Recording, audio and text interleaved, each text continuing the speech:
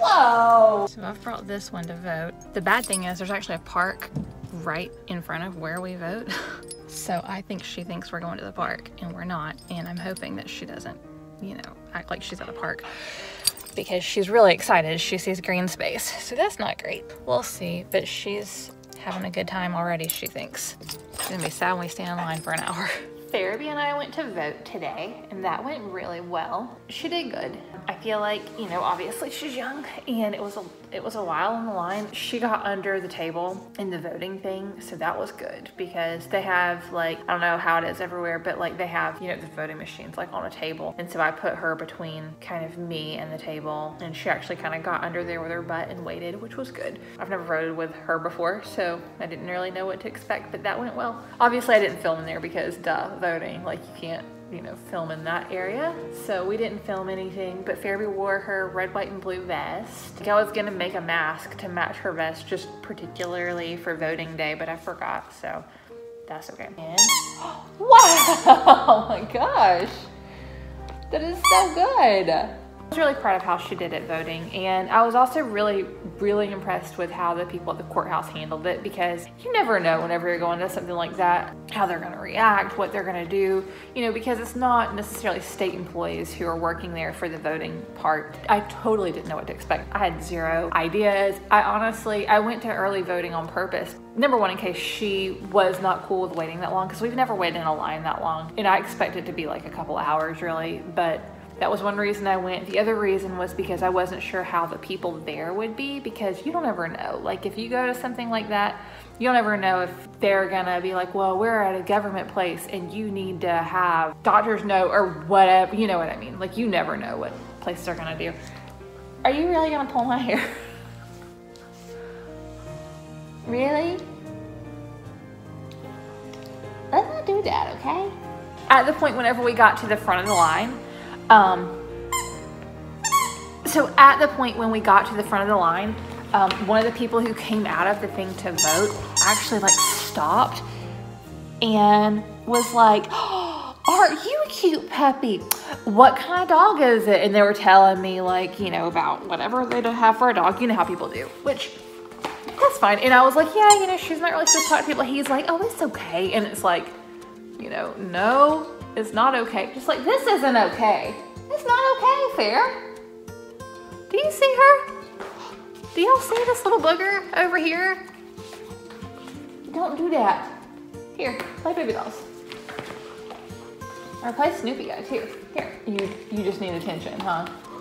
So we were in the courthouse and like obviously if somebody comes up to your dog who's like a another citizen, it's always awkward whenever you have to tell somebody no, but it's extra to me, it's extra awkward whenever it's someone who's old enough to be a grandparent of mine. It's also awkward whenever we're at like a place where it's like a police station, um, a courthouse, you know, places where it's gonna be like mind your manners place. So I was just like, yeah, you know, thank you. You know, she's not supposed to talk to anybody. And they like did like this to like Pharaby. And the person who was working there actually came up and told the person, they're like, yeah, you're not supposed to talk to the dog. And like kind of moved him along and Pharaby barked because Pharaby felt my heart rate go up, obviously, because my heart rate was like, you know, it was getting it at that point, but I was just getting like, you know, ooh, this isn't gonna go good. Did you finally give up? I'm sorry. So whenever Pharaby barked, I was like, you know, I was just like, oh no, because we had made it all the way to the front of the line. You know, I looked at the the person who had told the told the other person not to talk to Pharaby, and I was like, you know, sorry. I was like, she feels my heart. He's, it's okay, it's okay, and I'm like, cool. So I was just like, oh. and then she did good. She didn't say anything else the rest of the time, which I understand. Like I know why she did that, but like it's still not cool. And she let out. It was like her hyper bark is what it was. It was like it wasn't like a mean like a woof. It was like a her woof to be like, hey, you know, like that. And I was still like, you know, crawl under the freaking table embarrassed about that. She didn't do it until somebody was like making me like, you know, have my rate go up basically. And so she was telling me, but it still isn't cool. Like I wish she didn't bark to alert. She's always allowed to do whatever she wants to do as far as learning goes.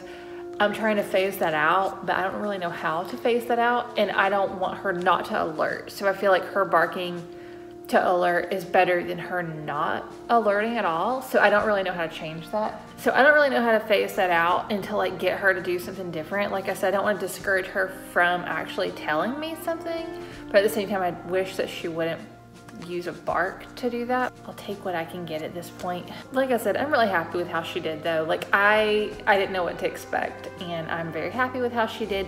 And I was happy with how the, the courthouse staff did too. That was what I was actually trying to get to. Number one, they actually told someone to stop talking to her, which was like, thank you, because you know, normally that's not a thing.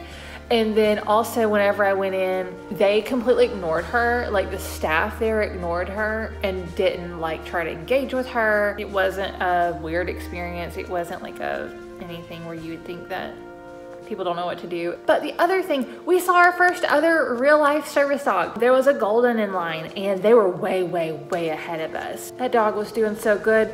And Pharaby's over here like getting up, getting down, getting up, getting down, like looking all around. Cause you know, she's, she's young and she's still like excited about everything. This dog probably was considerably older than Pharaby. But I was like, just anytime I see another service dog, like I'm like, I'm like almost like a creeper. just because I'm impressed whenever they're like really good. And I'm like, gosh, you know, like I wish I could be like, how old is your dog? How long before this stops happening? Because Pharaby is still, even though she did good, she had to be told every time. Every time we stopped, I had to tell her, like we'd move like three inches or like, you know, really probably six feet. And I have to be like, okay, sit down. So that's our voting experience. So I'm gonna link a subscribe button here, a training playlist here, in Vlogtober, I guess, maybe here, possibly. Something cool here. And we'll see you tomorrow. Bye guys.